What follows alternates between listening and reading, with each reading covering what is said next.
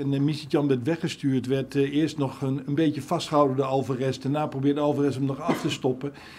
Ja, ik vind dat zo lastig. Dan moet je eigenlijk zien, je moet, zeggen, je moet gaan liggen. De slimmigheidjes van, uh, van Arne Slot.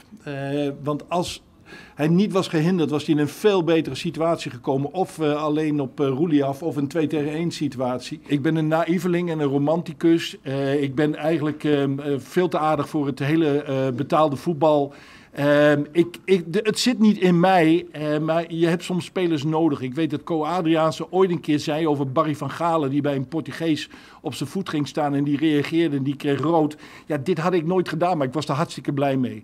Dus um, ik heb wel spelers nodig die, die, dat, die dat ook hebben. Maar ik ga niet oproepen voor slimmigheidjes.